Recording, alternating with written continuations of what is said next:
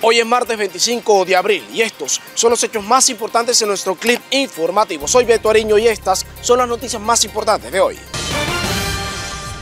A través de su cuenta de Twitter, el presidente de Fedegan, José Félix Lafurí, confirmó que el Ejército Nacional rescató al ganadero Heriberto Urbina Lacutir, de 86 años, secuestrado la tarde de ayer en el municipio de Curumán Cesar.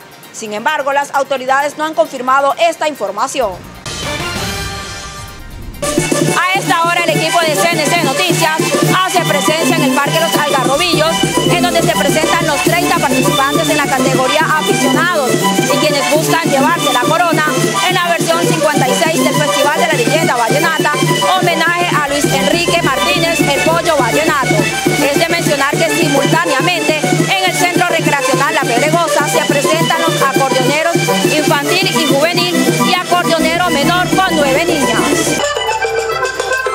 Bueno, mi nombre es José Gregorio Figueroa Díaz, soy de Sagún, Córdoba, tengo 23 años de edad y bueno, estamos aquí haciendo presencia, primero que todo darle las gracias a Dios, a ustedes por la oportunidad y a todos los televidentes que están presenciando el momento.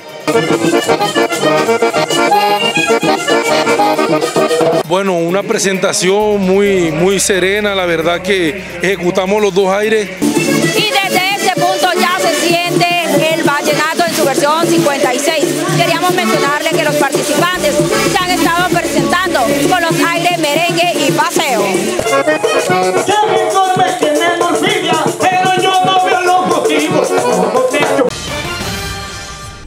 las próximas horas se desarrollará la audiencia de judicialización contra Jason Andrés Ramírez Morales, de 28 años, capturado por el supuesto homicidio del líder comunal del barrio Villa Haidí, Alfonso Medina, asesinado el pasado 10 de abril.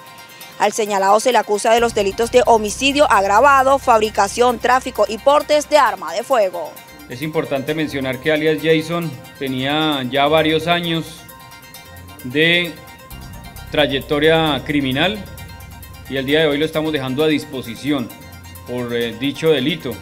También es importante mencionar que tenía ya medidas domiciliarias por el delito de homicidio y por otra, otros antecedentes judiciales de estupefacientes y demás. Es de mencionar que Jason Andrés Ramírez Morales había sido capturado en el año 2021 por el presunto homicidio de José Alfredo Ramos Meléndez, de 52 años, en el barrio Lorenzo Morales de Valledupar, y Víctor Alejandro Torres Zúñiga. Este último ultimado a bala en marzo de ese mismo año en la invasión Altos de Pimienta.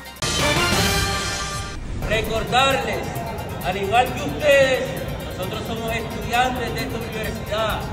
Encapuchados se tomaron por varias horas las instalaciones de la Universidad Popular del Cesar. Pese a que las directivas de la Universidad Popular del Cesar aseguran que son personas ajenas a la UPC, en el claustro hay movimientos activos de estudiantes que realizan esta serie de manifestaciones. Desde el 26 y hasta el 30 de abril, la Cámara de Comercio de Valledupar desarrollará la decimanovena versión de Expo Festival.